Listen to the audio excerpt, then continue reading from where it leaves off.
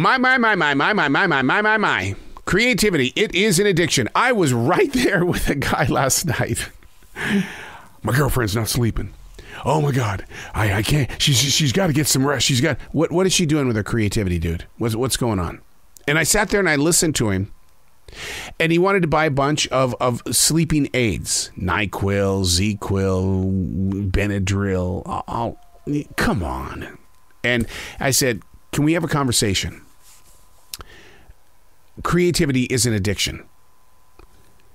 We are addicted to the process and the progress of what it will do to our mind, body, and soul at two, three o'clock in the morning. But you know what? People don't bitch about what creativity does to them at two, three o'clock in the afternoon unless somebody is stealing their art to benefit their business. And, and, and what I mean by that is, is that writing and producing commercials, the salesperson always drives a better car than I do, has a bigger house. You know, it, it kind of gets to you. You got to understand that creativity is an addiction and you have to learn how to work with it and not against it. Unplug because we will always say yes to creativity. Totally uncut because we all make mistakes. So turn it into a tool. This is Arroe Unplugged. Amen. Amen. Amen. I don't know why I did that. That's what stream thinking is all about. You're not supposed to explain what you're doing in the presence of now. It just happens. Tropical storm Claudette is still moving through this area. Yeah, she's long into the into the the ocean. But the remnants of a tropical storm, the moments afterwards are are what bring more rain and wind and things like that. You know, people always think that, "Oh my god, you you went through a hurricane or a tropical storm?" Yeah, well, it's not the actual event of that storm that brings the damage. It's everything afterwards because the ground is so soaked that trees begin to go, fall, the wind and things like that. So you sit there and you go, Amen, Amen. hey, it's Arroe. This is Stream Thinking, the power of now. Learning how to trust free form writing. I challenge myself every day. It, it is my discipline. Every day, one page, 10 minutes to write, absolutely no editing whatsoever because it creates time to talk about it in the end. I believe that our best decisions are made in the presence of right now. It's time to own your own leadership. The power of now. We are reading from June 20th, 2021. Um, this this writer that day had a, uh, a situation it was it was one where he needed to be singing Amen. he needed it so desperately.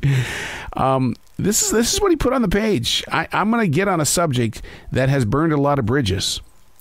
Before the digital term ghosting was put into effect, the truer heart faced its weakest link and said, "Absolutely, no more." You see, my level of disconnection, oh my God, it will rise when I'm working side by side with somebody whose decision in the moment is to half ass the project. Oh, whoa, whoa, whoa, whoa, whoa, whoa, whoa, whoa. I don't want to turn you off. I know I said half ass. I'm going to say it many more times. But see, the thing is, when we half ass a project, every one of us are guilty of one time or another of being a half asser. I'm very forgiving of those days when you half ass a project. But when you do it over and over and over again, I, I got a problem.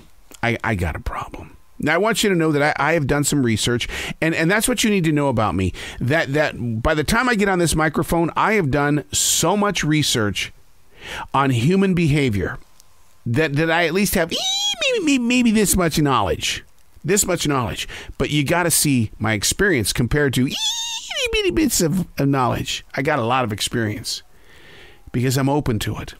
I researched this thing called half assing, mainly because I, I need to know. I, I need to know how to handle, as a leader, how to handle a situation when the half asser thinks that they're dominating the picture because ain't going to happen. Ain't going to happen on my clock. That's not going to happen. I'm going to call your ass out. And that's exactly what the research says. That when you've got a half asser, you got to call them out. You got to tell them, uh uh-uh, uh, uh uh, we ain't doing it that way. But there are moments and days, especially at 10, 11 o'clock at night, when you look at the half asser and you're tired of being the teacher. You're tired of being the leader. And, and so bad you want to say, all right, I'll, I'll accept this. But you know what? Then you've become the half asser. Man, when, when, when, I'm, when I'm leading people and I need my team to be greater than yesterday, you ain't to half ass on my time. I'm not an ass for being this way. I I really want to be the generator of success. It's the way I've always been. I, I didn't half ass my radio career. If I did, do you think I'd still be in it 42 years strong? No. Half assers don't make it to 42 years. So the thing is, is that that's what I want to do with you, and I think that's the message of this this stream thinking today, is that look, we're all guilty of being a half asser. We're all guilty of it. You know, when, when, when it comes to doing my lawn or my laundry, I'm a half asser. Okay, I, I accept that. And, and it really does bother me deeply. Uh, oh, and I write about it. I, I do because why is it I can be a half asser at home, but when you put me in a business, this dude ain't half assing anything. And and it's like it's like what you, you you can't put yourself up to a level of non half assing at home, but you're gonna be you know like very very in your face when it comes to half-assing at work. You're, you're gonna you're gonna call people out. I am. I am. Because I don't need those above me to say, "What are you doing? Half-assing?" No, I'm not. They are. Yeah, but you're the leader of the team, so therefore, you are the half-asser. God. Ah. Ah. So how do we get beyond this? Be the leader. Call them out. Call them out. And as we get back into this business world, you know, post COVID 19, because a lot of businesses are saying, you got to get your buns back to the back, back to the business. They are. A lot of people are saying, I'm, I'm going to quit my job. No time in the history of America have there been so many quitters in the business world than today.